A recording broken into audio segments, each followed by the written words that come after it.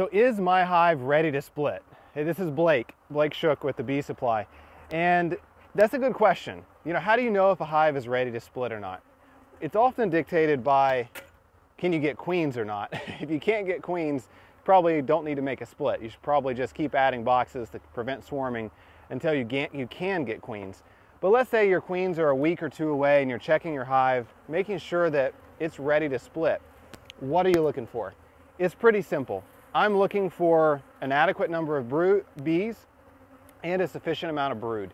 If they don't have at least six frames of brood and at least, you know, one to one and a half boxes full of bees, I'm not gonna split it. So when I look at this hive, before I smoke them, you know, this top box has about seven frames full of bees. So there's seven frames of bees. I'm looking on the bottom box. There's about four frames of bees on the bottom. Seven, eight, nine, so that's 11 frames. I'm just gonna quickly make sure they've got at least six frames of brood because in general, I wanna put at least three frames of brood per split. So we've got, hey, hey, we've got brood and I even see the queen on this frame. So queen's on this frame. We've got a good frame of brood. One, two, three. Make sure this one's brood.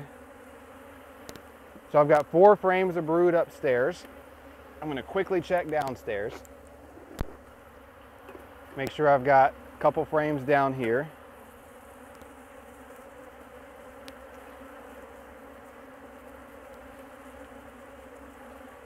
Okay, so that's the frame.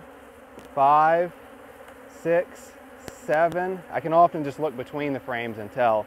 So this one has about seven frames of brood and about a box and a half full of bees. So this one's good to split. Now at this point, the split is as simple as equalizing the brood. I'm gonna make sure I've got about three and a half frames of brood in the bottom, about three and a half frames of brood in the top. Make sure I've got the same amount of honey in the top and bottom box. And then I don't like having to look for the queen. So I'm just gonna shake all the bees into the bottom box, put a queen excluder on it, put my top box back up, up, up on top. Now I know my queen's downstairs because I just shook all the bees down there.